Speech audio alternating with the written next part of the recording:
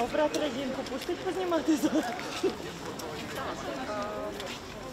Сьогодні відбувається акція Перший вінок. Це акція присвячена Дню прав жінок. Власне, під, час цієї акції ми хочемо розповісти про е, боротьбу жінок за свої права в Україні протягом десятків років, а то й навіть сотні років. Перший вінок це альманах, який було опубліковано близько ста років тому. Він був профінансований жінками-меценатками. В нього входили твори жінок, е, письменниці, поетес України і Лесі Українки, і Кобилянської, і Кобринської, і багато інших. І ми хочемо показати, що е, фемінізм це не щось нове і невластиве для України. Це не щось, що з'явилось останні роки.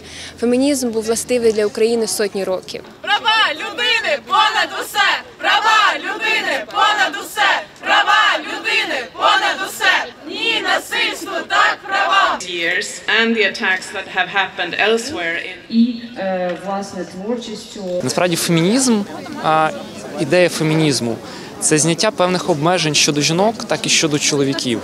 Та, тому що ми звикли до того, що а, чоловіки мають виключно одні ролі, жінки мають виключно іншу протилежні зовсім ролі.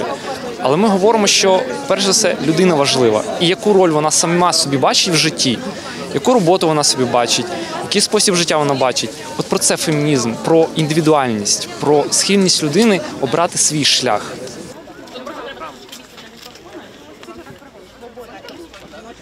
У 2017 і в 2018 до роботи, коли у нас є діти.